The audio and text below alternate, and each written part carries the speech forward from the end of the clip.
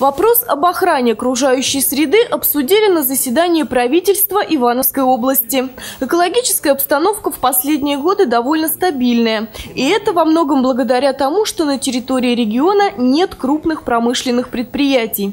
Правда, дышать полной грудью с каждым годом становится все опаснее. 70% загрязнений воздуха приходится на автомобильные выхлопы.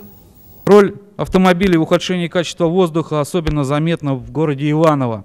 В последние годы здесь наблюдается устойчивое загрязнение воздуха вредными веществами, характерными для выбросов от автотранспорта, бензопиреном, фальмардегидом, взвешенными веществами. Несмотря на это, город пока не входит в приоритетный список городов России с наибольшим уровнем загрязнения атмосферного воздуха. Самая актуальная проблема на сегодня, касаемая охраны окружающей среды – утилизация бытовых отходов. Заниматься этим муниципалитеты должны самостоятельно. Куда регион девает мусор – дело зачастую темное и плохо пахнущее. Достоверно известно лишь одно – допустимый срок эксплуатации большинства свалок уже истек.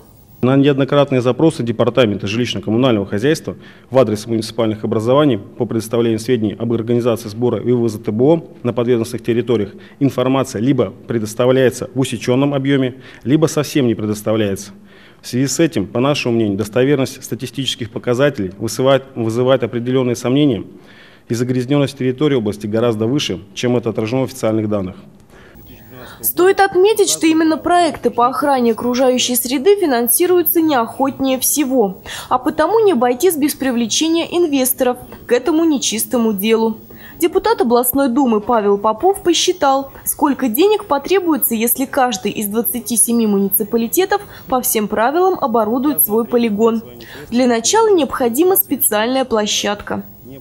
Это порядка 15 миллионов рублей. Для закупки новых контейнерных парков, потому что весь контейнерный парк на сегодняшний день полностью не соответствует стандартам. И всех новых автомобилей, которые сегодня тоже не соответствуют стандартам, это еще 15 миллионов рублей. Таким образом, порядка 30 миллионов рублей – это тот минимум, который нужно для того, чтобы сегодня муниципалитет соответствовал хотя бы ну, общеевропейским стандартам. Не говорю уже о больших, о переработках и так далее.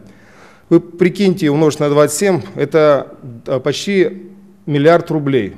Подобный эксперимент с Ивановской областью вряд ли возможен. А потому правительство предлагает ограничиться шестью крупными полигонами. Мусор со всего региона будут свозить в Тейковский, Гаврилово-Посадский, Южский, Кенишемский, Шуйский и Приволжский районы. Елена Белова, Андрей Семиволков, РТВ Иваново.